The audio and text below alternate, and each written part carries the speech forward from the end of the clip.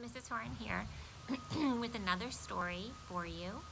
Um, today I'm going to read to you the story, The Crayon Box That Talked. And this is a story that we did read together when we were at school together. We read this story. Um, and you did a really nice job listening to it. But it's such an important story that I thought we could um, listen to it again.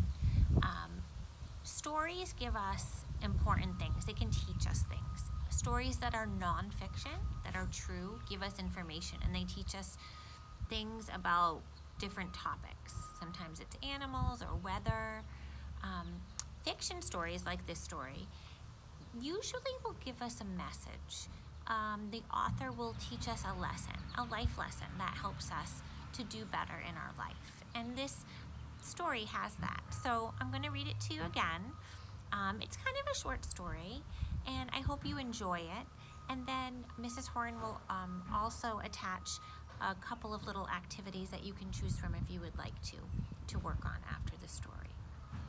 Okay, here we go, friends. The Crayon Box That Talked. And this is by Shane DeRolf, illustrated by Michael Letzig. The Crayon Box That Talked. Crayon Box That Talked by Shane DeRolf, illustrated by Michael Letzig. While walking in a toy store the day before today,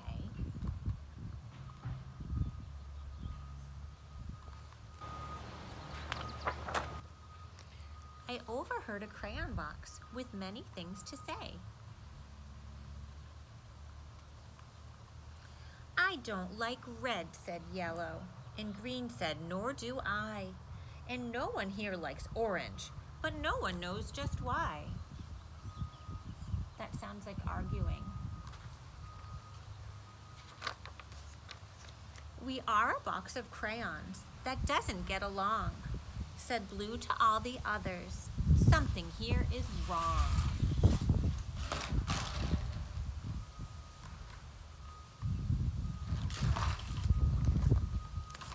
Well, I bought that box of crayons and took it home with me.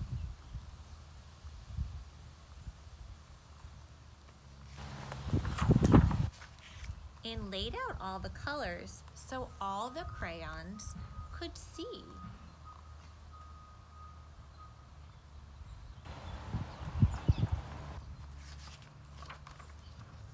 They watched me as I colored with red and blue and green and black and white and orange and every color in between.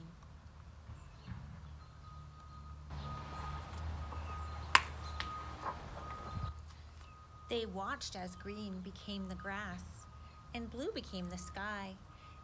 The yellow sun was shining bright on white clouds drifting by. All those beautiful colors.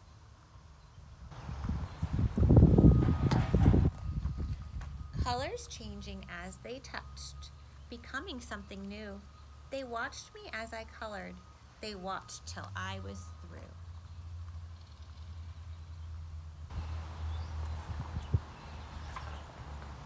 And when I'd finally finished, I began to walk away. And as I did, the crayon box had something more to say.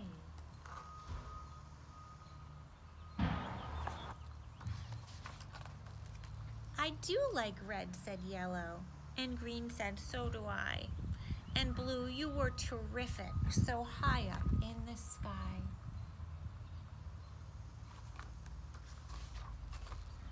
We are a box of crayons, each one of us unique. But when we get together, the picture is complete. Let's read that last page one more time. We are a box of crayons, each one of us unique, but when we get together, the picture is complete. And that's the end of the crayon box that talked. So boys and girls, you just did a really nice job listening to the story. I want you to think about what the author's message is in this story. What do you think the lesson is for us to learn? Think about it for a minute. Yeah, Okay, good. Good thinking, everybody.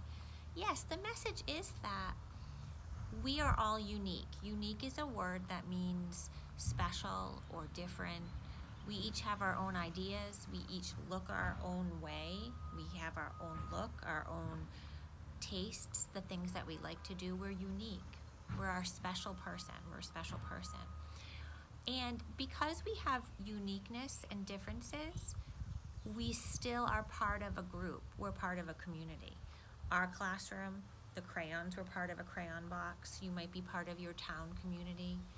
And being unique is important. Being unique is what makes that community so special. So the nice thing about this story is at first those crayons, they didn't like the differences with each other and they weren't getting along very well.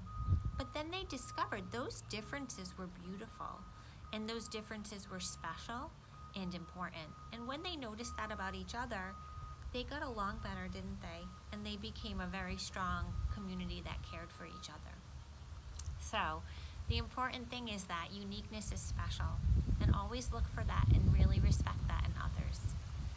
Hey friends, I've attached um, a little activity that you can do and it can help you maybe think about your own uniqueness, what makes you special, because you are all special and you are all part of our kindergarten classroom, our community. And I love you all. Okay, friends, um, I hope you enjoyed this story and have a wonderful day.